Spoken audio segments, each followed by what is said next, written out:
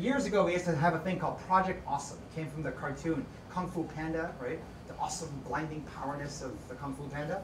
The idea was every week, if every individual just did one thing awesome, didn't matter what it is, the sum total of every employee doing one thing awesome every week, despite what strategy was set, would turn out an amazing enterprise.